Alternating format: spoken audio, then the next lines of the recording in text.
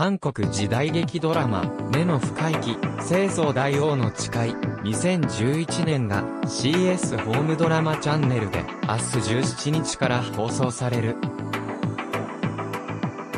同作は、朝鮮王朝最高の天才君主、清掃大王時代を舞台に、で、今なお、韓流刺激の最高傑作との呼び声が高い。